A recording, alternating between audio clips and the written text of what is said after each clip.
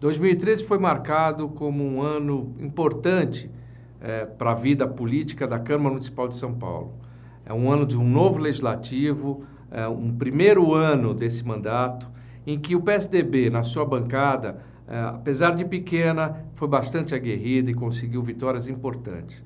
Nós conseguimos destacar uma série de iniciativas que nós tomamos, seja de, seja de projetos eh, individuais ou seja projetos coletivos, e na discussão dos temas de interesse da cidade.